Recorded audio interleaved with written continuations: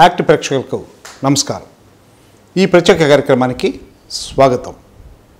గత ఎపిసోడ్లో జాతీయ అవార్డు గ్రహీత పిఈటి మాస్టర్ జయప్రకాష్ నారాయణ గారి శిష్యురాలు స్వర్ణలత గారి ఇంటర్వ్యూని చూశారు కదా? మరి ఈరోజు ఈ ఇంటర్వ్యూలో ఇద్దరు చిచ్చర పిడుగులైన అక్క చెల్లెళ్ళు మన ముందున్నారు. మరి వారు కబడ్డీకి కోతకెళితే పాయింట్ తీసుకురాకుండా వెనక్కి రారు మరి ఇప్పుడు జీవితంలో ఎన్ని పాయింట్లు సాధించారో మరి ఆ క్రీడల్లో వాళ్ళు సాధించిన విజయాలు ఏమిటో ఈ ఇంటర్వ్యూలో చూద్దాం. నమస్కారం అండి. నమస్తే సార్. చెప్పండి జయంతి గారు మంజుల గారు మంజుల అక్క జయంతి చెల్లెలు. ఓకే మీరిద్దరు మీ యొక్క కుటుంబ నేపథ్యం గురించి చెప్పండి. నా పేరు మంజుల సార్. మాది చిన్న చెరుకూరు గ్రామం సార్. మా నాన్న ఫార్మర్ సార్. మా అమ్మ ఫార్మర్. నాకు ఒక అన్న ముగ్గురు అక్క చెల్లెలు ఉన్నారు. మొత్తం ఐదు మందిని సార్ మేము. నేను టెన్త్ వరకు చిన్న చెరుకూరులోనే చదివాను. ఇంటర్మీడియట్ కేఈసీ కాలేజ్ చదివాను సార్. ఆ, డిగ్రీ విఆర్సీలో చేశాను. బీపీడీ హైదరాబాద్ దోమలగూడలో చేశాను సార్. ఓకే. బీపీడీ అయిన తర్వాత ఎన్ఏఎస్ ఒక కోర్స్ చేశాను సార్. అంటే కోచ్గా వెళ్దాము అని చెప్పని అది ఆచార్య నాగార్జున యూనివర్సిటీలో చేశాను. తర్వాత నాకు డిగ్రీలో ఒక ఫ్రెండ్ ఉండేవాళ్ళు. అతనే ప్రజెంట్ నా హస్బెండ్. అతనికి ఏంటంటే అడ్వకేట్ పరంగా నన్ను లాయర్ కానీ జడ్జి కానీ చూడాలని అతని కోరిక. మీది లవ్ మ్యారేజా? అవును సార్. ఇంటర్ కాస్ట్ మ్యారేజ్ మాది. ఓకే. అతను ఇట్లా అడ్వకేట్కి ఎల్ఎల్బి ఎంట్రన్స్ రాయించి మిమ్మల్ని లాయర్ చేయాలను లాయర్ చేయాలని అతను క్రీడాకారుడి నుంచి లాయర్గా చూడాలనుకుంటాడు అవును, అతనికి బాగా ఇంట్రెస్ట్ సార్. అంటే స్పోర్ట్స్గా ఏమి రాణి రాణించలేకపోయావు. ఇట్లా సైడ్ అన్నా వచ్చి నువ్వు ఒక మంచి గెస్టెడ్ ఆఫీసర్గా నిన్ను చూడాలని కోరిక అతనికి. జయంత్ గారు మీరు చెప్పండి. నా పేరు జయంతి సార్ మాది చిన్న చెరుకూరు. సేమ్. అంతే. ఒకే కుటుంబం కదా చెల్లెలు? సరే మీరు ఏ ఏ తరగతి నుంచి? ఫోర్త్ క్లాసు ఫోర్త్ క్లాస్ నుంచి ఆడుతున్నాను సార్ నేను. ఫిఫ్త్ క్లాస్కి వచ్చేటప్పటికి ఒంగోలులో స్టేట్ మీట్ ఆడాను సార్. అక్కడ నుంచి నేషనల్ సెలెక్ట్ అయ్యాను.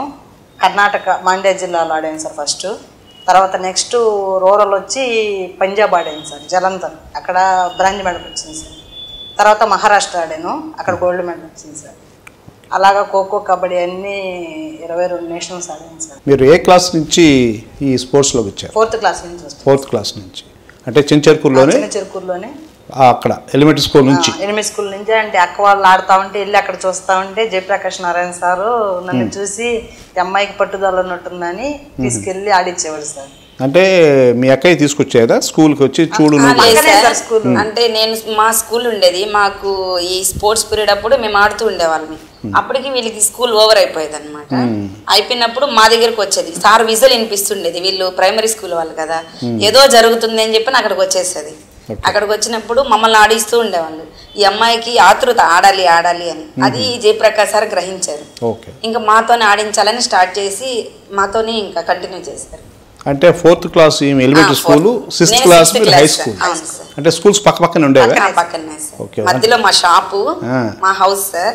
అటు వచ్చి హై స్కూల్ వెనకొచ్చి ప్రైమరీ స్కూల్ ఓకే మీ స్కూల్ అయిపోగానే ఈ స్కూల్కి వచ్చి ఆటలు ఆడేవారు ఈవినింగ్ ఇన్స్పిరేషన్గా తీసుకున్నాం మీరు అంతేనా ఓకే మరి మీ పీఈటీ మాస్టర్ సరే. మిమ్మల్ని ఎలా ఎంకరేజ్ చేశారు ఈ స్పోర్ట్స్లో సార్ ఓపెన్గా చెప్పాలి అంటే మా ఫాదర్ తర్వాత మాకు ఫాదర్ లాంటి వాళ్ళు సార్ మా జయప్రకాష్ సార్. ఆయన ఏదైనా కానీ ఇప్పుడు టోర్నమెంట్కి వెళ్ళాలి అన్న స్టేడియంకి వెళ్ళాలి అంటే కనీసం ఒక ఆడపిల్లకి కావాల్సిన ఎక్విప్మెంట్ మొత్తం మా సార్ దగ్గర ఉండేది సార్ స్పేర్లో పెట్టుకునేవాళ్ళు. ఇంకా సడన్గా మేము ఏదైనా మర్చిపోయినా సారు అవి ఇచ్చి జాగ్రత్తగా డ్రెస్ కోడ్ చేసుకురండి అని చెప్పి చెప్పేవాళ్ళు. అది చాలా ఎంకరేజ్ చేసేవాళ్ళు మమ్మల్ని. మా మమ్మల్ని అంటే ఎక్కడికి టోర్నమెంట్కి వెళ్ళినా ఒక కంటికి రెప్పలా కాపాడుకుంటూ వచ్చేవాళ్ళు సార్. మరి అలాగే మీరు ఏ ఏ గేమ్స్లో? ఎక్స్పర్ట్ నేను ఖోఖో కబడ్డీ సార్. తర్వాత university athletics athletics చేపించేవాడు hundred metres two hundred metres long jump medals వచ్చాయి సార్ నాకు అన్ని. ఓకే ఓకే నేను KEC college sir. Inter degree వచ్చి విఆర్ కాలేజీ అక్కడ విఆర్ విఆర్ కాలేజీలో రవీంద్ర సార్ అని పీడీ ఉండేవాడు సార్. అతను కూడా బాగా ప్రోత్సహించి నన్ను ఫీజులు అన్ని ఆయనే కట్టుకుంటా ఆడించుకుంటా. యూనివర్సిటీలు కూడా ఆడిపించాడు సార్. మాకు స్టేడియంలో కోచ్ ఎతిరాజ్ అని ఉన్నాడు సార్. ఆయన ఇంకా బాగా ప్రోత్సాహం ఇచ్చి నన్ను ప్రతి నేషనల్స్ తీసుకెళ్ళాడు సార్. మీరు కాలేజ్కి వచ్చిన తర్వాత అక్కడ ఎవరు మీకు పీడీ మాస్టర్? ఆ, రవీంద్ర సార్ ఉండేవాళ్ళు సార్. మాకు సారే మా కాలేజీ ఫీజెస్ కూడా సారే కట్టుకునేవాళ్ళు సార్. స్పోర్ట్స్ వాళ్ళని చాలా ఎంకరేజ్ చేస్తారు సార్ సార్. ఓకే. ఈ ఫీజులు కట్టుకునే వాళ్ళు యూనివర్సిటీకి టోర్నమెంట్కి బయటికి వెళ్ళినా మాకు స్పేర్లో డబ్బులు ఇచ్చేవాళ్ళు. అంటే అందరూ వస్తున్నారు వాళ్ళని మీరు అడగొద్దు ఏం చెప్పని ఒక వెయ్యి రూపాయలు ఐదు వందలు మా చేతిలో పెట్టి మీరు జాగ్రత్తగా వెళ్ళండి అని చెప్పని రైల్వే స్టేషన్కి వచ్చి ఎక్కిచ్చేవాళ్ళు సార్. ఓ సార్ కూడా బాగా హెల్ప్ చేశారు సార్. మాకు టెన్త్ అయిపోయిన వెంటనే మాకు అకాడమీ ఉండింది సార్ స్పోర్ట్స్ హాస్టల్.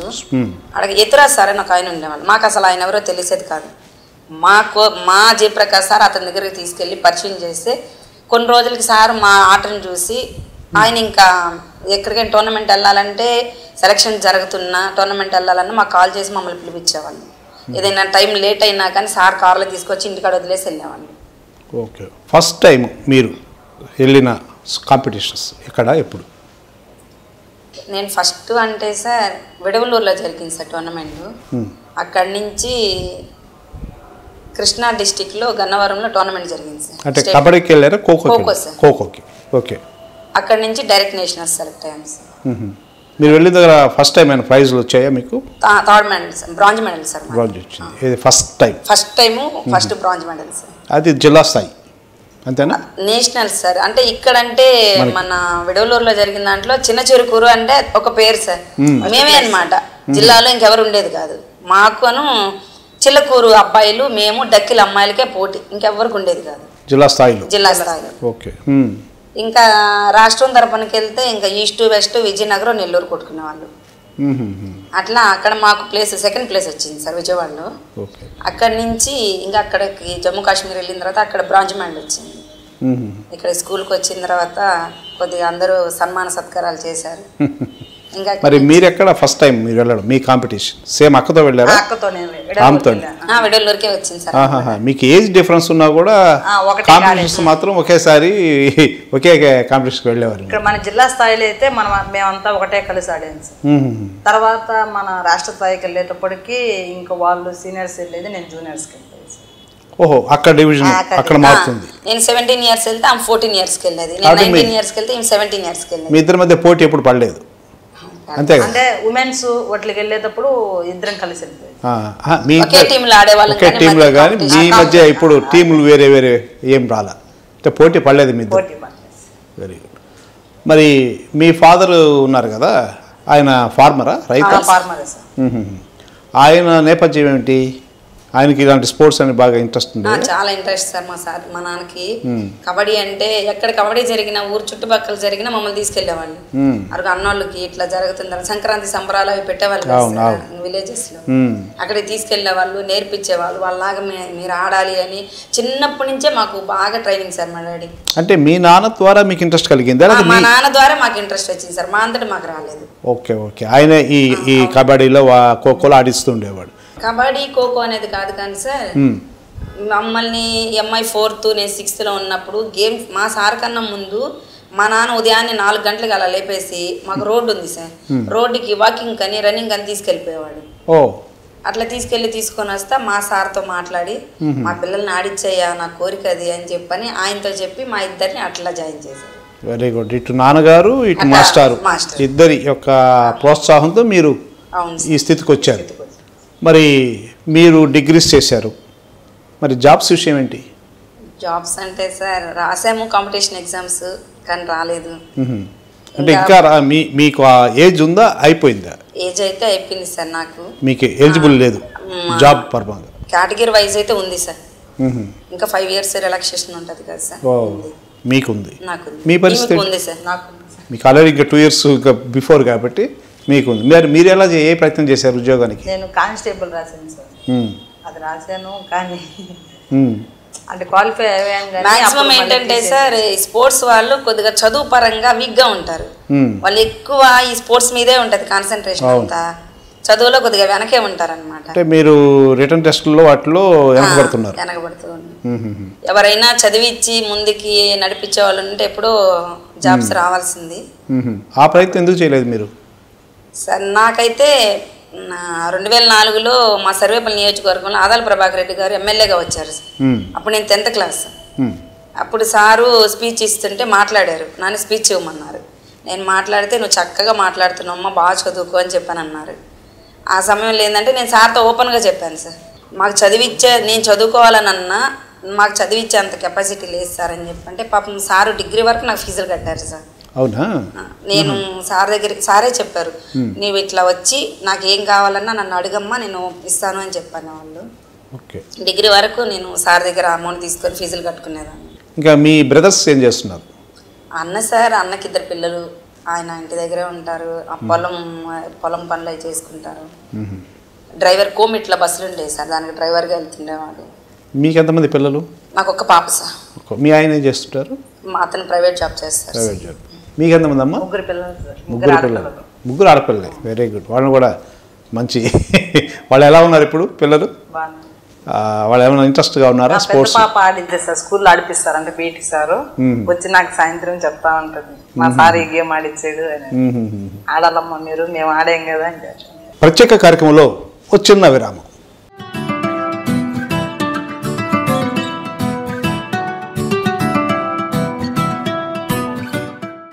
మీరు ఇలా బయటకు వెళ్ళినప్పుడు అంటే నేషనల్స్కి వెళ్ళినప్పుడు అక్కడ మీకు ఏదైనా ఓ మంచి జ్ఞాపకాలు అంటే ఆ గేమ్స్లో ఆడినప్పుడు వచ్చిన ప్రైజులు ఎలాగో వచ్చాయి అక్కడ మీరు మీ అంటే రకరకాలుగా స్టూడెంట్స్ మీకు కలుస్తుంటారు కదా నా అంటే అన్ని స్టేట్ల నుంచి వచ్చినప్పుడు వాళ్ళతో మీరు ఎలా కలిసిపోయేవాళ్ళు వాళ్ళకి మీతో కలిసే విధానం ఎలా ఉండేది?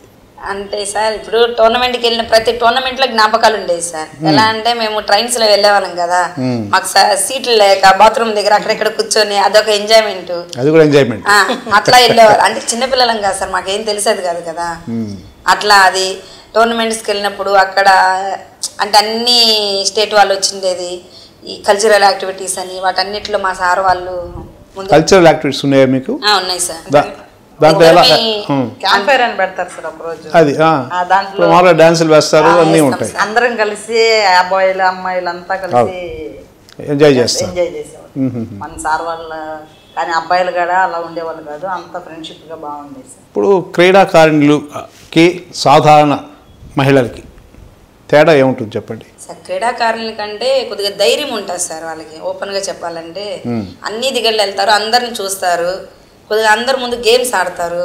కొద్దిగా ఆ స్టేజ్ ఫేర్ అనేది ఉండదు వాళ్ళకి. ఈ నార్మల్గా ఉండే వాళ్ళు ఏంటంటే ఎవరో రేరు కొద్దిగా ధైర్యంగా ఉండేవాళ్ళు. ఇంక నేను నాతోటి ఇంకో అమ్మాయి వచ్చింది అనుకోండి తెలిసిపోద్ది ఈ అమ్మాయి కొద్దిగా ఫాస్ట్గా ఉంది ఈ అమ్మాయి కొద్దిగా స్లోగా ఉంది అని. స్పోర్ట్స్ వాళ్ళు కొద్దిగా ఫాస్ట్గానే మూవ్ అవుతారు సార్. అంటే మీ లైఫ్లో ఈ స్పోర్ట్స్ అనేది స్పోర్ట్స్ లైఫ్ అనేది మీకు ఏమైనా యాడ్ అయిందా? అంటే మీరు ఒక ఆత్మస్థైర్యం పెంచడానికి కానీ ఒక సమాజంలో ఒక డేర్గా బతకడానికి. అవును సార్. చాలా యూజ్ అయింది సార్ మాకు. మామూలుగా మాతోట చదివే పిల్లలందరూ ఎలా ఉన్నారు మేము ఎలా ఉన్నాము అనేది మాకు మాకే తెలిసిపోద్ది సార్. జస్ట్ లైక్ అబ్బాయిలాగా ఉంటారు మీరు. ఆ, అంతే. అంతేనా? కొద్దిగా ఏ దానికైనా కానీ అబ్బాయిని అయినా కొట్టే స్టేజ్లో ఉంటాం అనమాట అట్లా అంత ధైర్యంగా ఉంటాం. కొట్టారు అబ్బాయిల్ని? ఆ ఛాన్స్ అయితే ఎప్పుడు రాలేదు సార్. వస్తే వరకు ఖచ్చితంగా కొడతాం. అట్లా. మీకు కూడా రాలేదా. అవకాశం రాలే మీకు మరి మీరు నేషనల్స్కి వెళ్ళారు కదా? ఏ ప్లేసెస్లో ఏ స్టేట్లో ఆడారు? సార్ నేషనల్స్ అంటే నేను రెండు వేల నాలుగులో జమ్మూ కాశ్మీర్లో ఆడాను సార్. నాకు అక్కడ బ్రాంచ్ మెడల్ ఉంది మళ్ళీ రెండు వేల ఆరులో నాగపూర్లో ఆడున్నాను సార్. రెండు వేల ఏడు క్యాలికట్ ఆడాను. రెండు వేల ఎనిమిది తిరునల్వేలిలో ఆడాను సార్. అది ఒకటే మెడల్ ఉంది సార్ నాకు. అంటే వీటిలో రాలేదు మెడల్స్ రాలేదు సార్. ఫస్ట్ టైం రెండు వేల నాలుగులో వచ్చింది. అవును. మీరు మీరు చెప్పండి మీరు ఎక్కడెక్కడ ఫస్ట్ ఆడారు నేషనల్ కర్ణాటక మాండ్య జిల్లాలో ఆడాను సార్. సెకండ్ పంజాబ్ జలంధర్లో ఆడాను సార్ అక్కడ బ్రాంజ్ మండలు బెస్ట్ అఫెన్సర్గా వచ్చింది సార్ నాకు అక్కడ అవార్డు. తర్వాత మహారాష్ట్ర గోల్డ్ మెడల్ సార్. అక్కడ బెస్ట్ డిఫెన్స్గా వచ్చింది సార్. ఓకే. తర్వాత వచ్చి గోవా ఆడాను సార్. బీచ్ కబడ్డీ కేరళ ఆడాను సార్. ఖోఖో సౌత్ జోన్ వచ్చి పాండిచేరిలో ఆడాను సార్. అక్కడ థర్డ్ ప్లేస్. దాదాపు ఎన్ని మెడల్స్ వచ్చాయి మీకు? సార్ ఒక నేషనల్స్ అంటే ఒక నాలుగైదు మెడల్ వచ్చేసి. ఒక ఐదు మెడల్ వచ్చి. మ్మ్. అయితే అక్కడ డామినేట్ చేసేసారు. నాకన్నా బాగా ఆడేది మా చెల్లి. ఒకటే. మీరు నాలుగైదు మెడల్స్ మీరు కొట్టేశారు. Senior kabaddi. Maharashtra senior kho kho Tamil Nadu senior kabaddi Tamil Nadu Delhi గోవాకి త్రీ టైమ్స్ వెళ్ళాను సార్. మహారాష్ట్ర త్రీ టైమ్స్ వెళ్ళాను. అలాగా ఒక ట్వంటీ టూ నేషనల్స్ ఆడాను అలాగే ఒక ఫైవ్ యూనివర్సిటీస్ ఆడాను. అమ్మాయి బాగా ఆడుతుందని చెప్పని నేను బాగా ఎంకరేజ్ చేసేదాన్ని సార్. ఎక్కడికి వెళ్ళాలన్నా కానీ నేనే సపోర్ట్గా ఉండి. ఆమెను ఆడించాలి అని చెప్పని చాలా వరకు కష్టపడ్డాను. ముందు పెట్టి మీరు అవును. త్యాగం చేశారు. త్యాగం చేయాల్సిన అవసరం లేదు. ఎందుకంటే ఎవరికైనా ఛాన్సెస్ ఉంటాయి కదా స్పోర్ట్స్ అనేది. ఎవరి శక్తి వాళ్ళది ఎవరి సామర్థ్యం వాళ్ళది. కాబట్టి ఆమె కోసంగా మీరు కాస్త వెనకబడ్డారు. ఓకే. అలాగే ఇప్పుడు మీరు ఈ సమాజంలో జనరల్గా మనం గమనిస్తుంటాం కదా మహిళలు ఉంటారు. ఇప్పుడుండే ఈ స్పోర్ట్స్ వలన ఈ మహిళలకి ఎంతవరకు అవి ఉపయోగపడతాయంటారు వాళ్ళ జీవితం కోసం? సార్ ఇప్పుడు మామూలుగా పిల్లలు ఇంటర్ ఇంటర్ ఎగ్జామ్స్ అయిపోతాయి. టెన్త్ అయిపోద్ది ఇంటర్ రాస్తున్నారు కదా సార్. అవి అయిపోయిన తర్వాత ఈ స్పోర్ట్స్లో స్టేట్ లెవెల్ నేషనల్ లెవెల్ ఉంటే ఈ ఎంబీబీఎస్ చేసుకునే పిల్లలకి అది ఒకరంత ప్లస్ అవుతుంది సార్. ఎవరైనా బాగా చదివించుకునే వాళ్ళు ఉండి ఆ స్పోర్ట్స్ కోటా కానీ తీస్తే అది ఇదే యాడ్ అయ్యి కొద్దిగా వాళ్ళు ఫైనాన్షియల్గా పెట్టుకోగలిగితే వాళ్ళకి యూజ్ అవుతుంది బాగానే. ఇంకా ఈ డిఎస్సిలో అంటారా ఆ పోస్టులు వదిలేదు తక్కువ వేల మంది వేస్తున్నారు. దానికి హెవీ కాంపిటీషన్. అది. ఇంకా ప్రతి దాంట్లో ఈ స్పోర్ట్స్ అనేది యాడ్ చేస్తే బాగుంటుందేమో అనుకుంటున్నాం. సార్ అంటే ఈ గ్రూప్స్లో కానీ ఈ సివిల్స్లో ఆటోమేటిక్గా ఉంటుంది అనుకుంటాను ప్రతి ఉద్యోగానికి అవును సార్ స్పోర్ట్స్ అంటే ఫస్ట్ నుంచి ఇప్పుడు గ్రూప్ ఫోర్ ఉంది గ్రూప్ త్రీ ఉంది గ్రూప్ టూ ఉన్నాయి గ్రూప్ వన్ ఉన్నాయి అలా అంటే హై లెవెల్లో ఉండే వాటికి ఉంది సార్ స్పోర్ట్స్ ఏమో కింద వాటికి కూడా ఈ స్పోర్ట్స్ని యాడ్ చేస్తే కొద్దిగా మాలాంటి వాళ్ళు ముందుకు వచ్చి ఏదో కొట్టగలం. మీరు ఎలాంటి ప్రయత్నాలు చేశారు ఉద్యోగ ప్రయత్నాలు? నేనైతే గ్రూప్స్ రాశాను సార్. గ్రూప్ వన్ రాశాను గ్రూప్ టూ రాశాను. అయినా హెవీ కాంపిటీషన్ సార్. అంత మనం ఇయర్ ఇయర్ కూర్చొని ఆ మనీ పెట్టుకుంటూ చదవాలి అంటే అంత బ్యాక్గ్రౌండ్ కాదు మంది. ఏదో చదివిస్తున్నారు. ఏదో అక్కడ ఇప్పుడు కోచింగ్ వెళ్ళాలంటే హైదరాబాద్ వెళ్ళాలి. అక్కడ కోచింగ్ తీసుకోవాలి. అక్కడ హాస్టల్స్లో ఉండాలి. హాస్టల్ ఫీజులు ఇన్స్టిట్యూట్ ఫీజులు ఇవన్నీ అంటే చాలా కష్టం. అంత స్తోమత లేదు సార్. మరి మీరు ఉద్యోగ ప్రయత్నాలు ఎలాంటి ప్రయత్నాలు చేశారు? నేను కానిస్టేబుల్ రాశాను సార్. అప్పుడు ఏంటంటే స్పోర్ట్స్ కోట తీసుకోవాలా. తీసుకో అంటే వచ్చిండేది సార్ నాకు. కానీ అప్పట్లో తీలేదు సార్ స్పోర్ట్స్ కోట. ఇంకా అప్పటి నుంచి నేను బీపీడీ చేసి ఆపేసాను సార్. టోటల్గా ఇప్పుడు మళ్ళీ ప్రయత్నాలు చేస్తున్నారా? ఇంట్లో అమ్మ వాళ్ళ పరిస్థితి బాగలేక మ్యారేజ్ చేసేసారు. నా అమ్మకి కొద్దిగా హెల్త్ బాగాలేకుండా వచ్చి అమ్మాయికి సడన్గా నేనే మ్యారేజ్ చేయాల్సి వచ్చింది సార్. ఓకే. నేను అమ్మాయికి మ్యారేజ్ చేశాను నా గోల్ రైల్వేస్ కొట్టాలనుకున్నాను సార్. ఇప్పుడు మీరు అంటే మీలాగా మీరు మీరే అంటున్నారు ఏమని? మాకు ఫైనాన్షియల్గా ఇబ్బంది వల్ల మేము ముందుకు పోలేకపోతున్నాం అంటారు ఎలాంటి సపోర్ట్ ఇస్తే మీలాంటి వాళ్ళు ముందుకు వస్తారు సార్ ఫైనాన్షియల్గా వాళ్ళకి ఏదైనా హెల్ప్ చేసి మేము ఉన్నాము అనే ధైర్యం ఎవరైనా చెప్తే వాళ్ళు ఎంత దూరమైనా వెళ్ళగలరు సార్. ఆల్ ఇండియా కానీ ఇంటర్నేషనల్ ఏదైనా ఆడతారు. ఓకే. ఈ ఫైనాన్షియల్ ప్రాబ్లమ్స్ వల్ల చాలా మంది వెనక్కి వస్తున్నారు. ఎగ్జాంపుల్ మా చెల్లి అయింది సార్. మా చెల్లి ఆల్ ఇండియా సెలెక్ట్ అయింది. కానీ ఏమైందో మళ్ళీ ఈ ఫైనాన్షియల్ వల్ల మేమే డ్రాప్ అవుట్ చేసేసాం. ఇప్పుడు మీరు లా చేస్తున్నారు. ఆ, అలా చేస్తున్నాను అయిపోయిందా? ఇలా అయిపోయింది సార్. ఓకే. హైకోర్టులో ఎన్రోల్ అయిపోయాను. ఇంకా మనకి బార్కి రావాలి సార్. నెల్లూరు బార్ అసోసియేషన్కి వచ్చి ఎవరి దగ్గర సీనియర్ దగ్గర ప్రాక్టీస్లో ప్రాక్టీస్ చేసుకోవాలి. మరి మీరేం చేస్తున్నారు? నేనేం చేయలేదు ఏం సార్? వాలంటీర్గా చేస్తున్నాను సార్. వాలంటరీగా. కొద్దిగా వాళ్ళ భర్తకి కొద్దిగా ఓవరాల్ సపోర్ట్ ఇవి. ఎక్కడమ్మా మీరు చేసేది? సచివాలయం?